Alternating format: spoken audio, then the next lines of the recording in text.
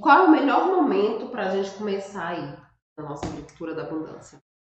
O melhor momento é quando você sentir esse chamado. Né? Você precisa uhum. sentir esse chamado interno para você começar. Tá? Então, uhum. se você quer plantar, se você sentiu esse chamado, esse é o melhor momento. Agora, se você ainda não tem esse chamado em si, é, não é o momento adequado. Mas eu acredito que todo mundo que está aqui é porque já está com esse chamado. Já está com esse né? chamado. De alguma né? forma chegou aí para. Porque está com esse sentimento que precisa, né? Precisa de ajuda ou quer algo a mais ali para poder produzir realmente, né? Da forma mais adequada para você.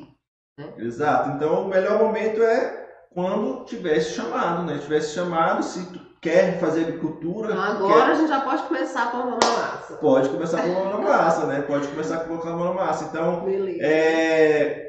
E aí começar nessas etapas, Isso. tá? Para poder realmente otimizar seu tempo, Hum. otimizar o seu recurso, otimizar o seu dinheiro,